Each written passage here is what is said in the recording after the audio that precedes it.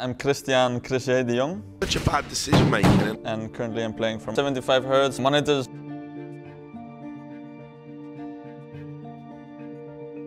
I actually remember a tournament, Oh, oh, and we're back. And we're back. And yeah, he was holding it. Oh, Adren actually repeats, gets the frag. it's a pretty deciding factor.